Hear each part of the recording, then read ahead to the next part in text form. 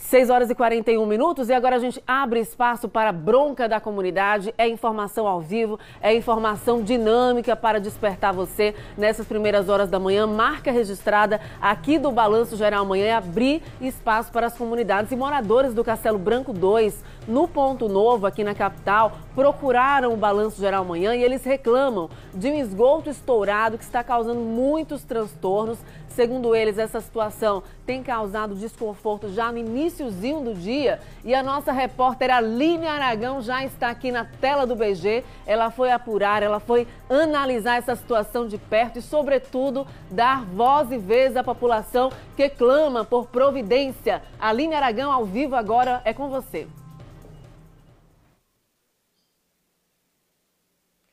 Isso mesmo, Tamires. Nós estamos, vou reforçar o endereço, Rua Coronel José Menezes Filho, Castelo Branco 2, bairro Ponto Novo.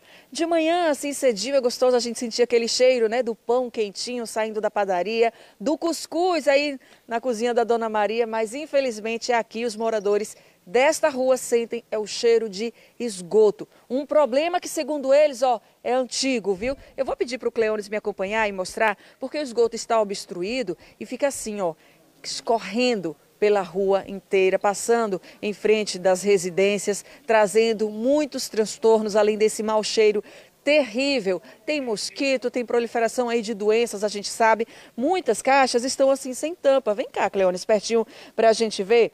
Muitas caixas estão assim, ó, a caixa de esgoto, a gente observa aqui na rua, aqui na esquina com uma outra rua, a, não tem tampa, o que é mais um perigo, né? Imagina só uma criança, uma pessoa com dificuldade de locomoção, um idoso, uma bicicleta que passa aí à noite e não vê esse buraco, uma moto também. Então, mais um perigo aí, mas eu vou pedir para a gente continuar caminhando, porque as, algumas caixas estão assim.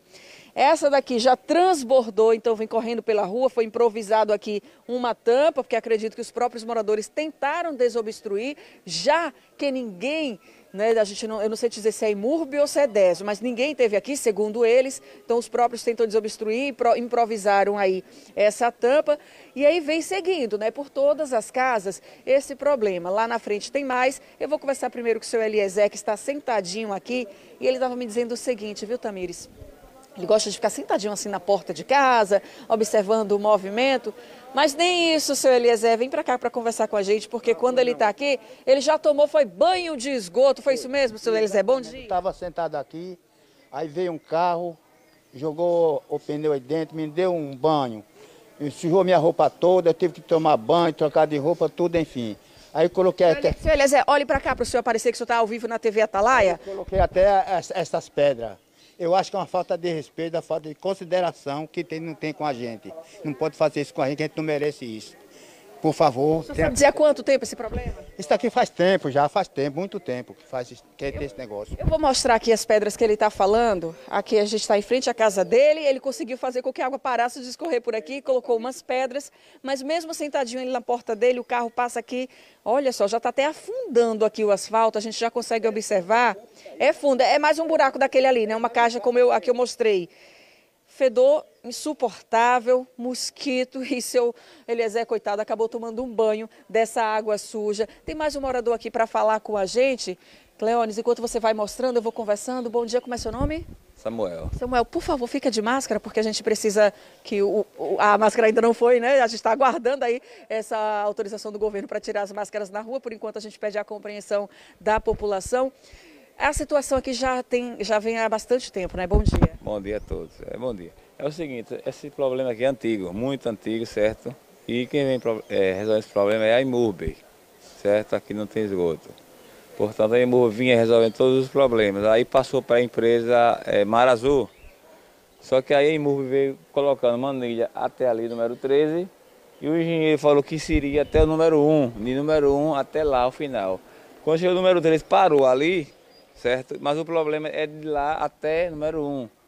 Quer dizer, então não resolveu nada. Parou, aí o Amarazul veio, concluiu e falou que só ia parar lá. Para a gente entender, vire para cá, por favor, para a gente entender melhor. Fique aqui paradinho assim, só para a gente tentar explicar. Pelo que ele está me dizendo, foi realizada uma obra aqui, foi colocada, foi iniciada essa obra, mas a obra foi está inacabada, ela não foi concluída. Concluída, positivo. Aí parou o número 13, seria até número 1, a outra esquina. Aí o engenheiro de Imurbe esteve aqui e falou que seria até o número 1. Só que aí pararam lá o serviço, certo? Depois a Mar Azul veio e, e finalizou ali. Portanto, o problema está dali até lá, o final, número 1. Um. Então, entre o número 1 um e o número 13, muito obrigada, seu Samuel. Esse problema persiste aqui, esse problema continua trazendo transtornos. Eu vou conversar com a senhora, porque essa situação bem crítica aqui está na porta dela, na sua esquina. Como é seu nome? Renildes.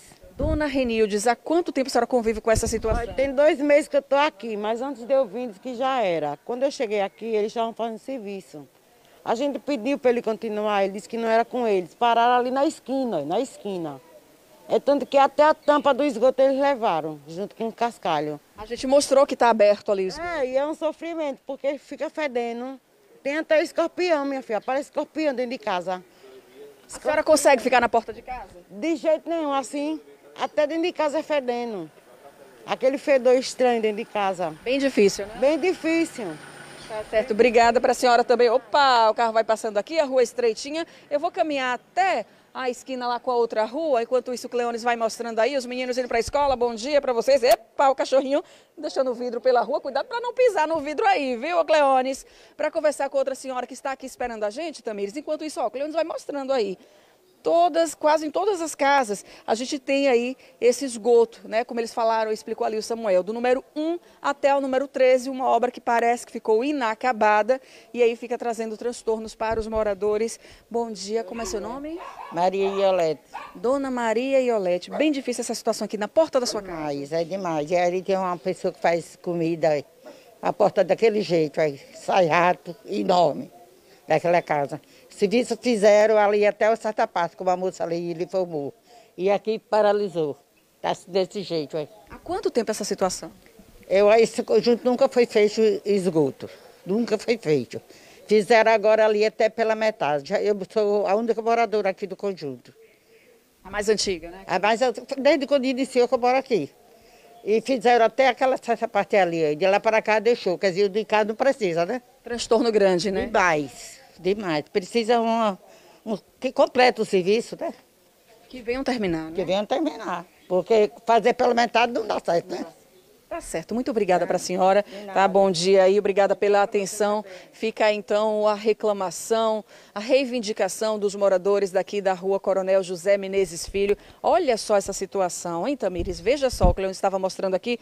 Vou pedir para ele mostrar de novo, que acaba juntando lixo, acaba juntando é, limo aqui. Tem umas partes que ficam mais fundas, algumas não tem nem tampa. Essa aqui ainda tem uma tampa aí, improvisada também em cima, mas algumas não tem nem tampa, então fica aquele buraco aberto, representando aí mais um perigo, além de todo o transtorno que eu já falei, do mau cheiro insuportável, dos mosquitos.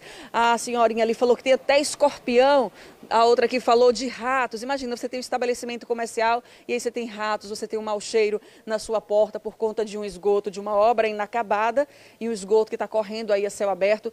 Isso já há muito tempo, os moradores já não suportam mais essa situação e cobram uma resposta. A nossa produção entrou em contato com a Imurb e a resposta que eles passaram para a gente, Tamires, é de que vai enviar uma equipe técnica até o local para avaliar a situação.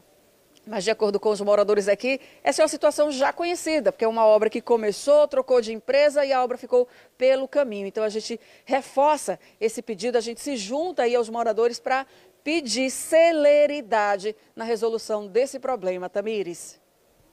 Isso, Aline, quando a população, quando a comunidade vem, procura o balanço geral, é porque precisa de rapidez. Você imagine aí uma situação que se arrasta há tanto tempo, isso prejudicando a qualidade de vida, prejudicando o bem-estar de idosos, crianças, jovens que residem aí. Então a gente aguarda essa equipe que será enviada a pedido do balanço geral. A gente agradece demais a atenção da Imurb e esperamos o retorno, né? Nós gostamos de ver também o problema resolvido. Será enviada uma equipe, vamos continuar em diálogo constante com a Imurb para saber qual será o trabalho conclusivo dessa equipe, porque a comunidade quer solução, a comunidade está cobrando aquilo que é de direito dela, saneamento básico, infraestrutura, e tudo isso se reverbera na saúde, na qualidade de vida da população. Obrigada, Aline Aragão, imagens ao vivo do Cleone Santos.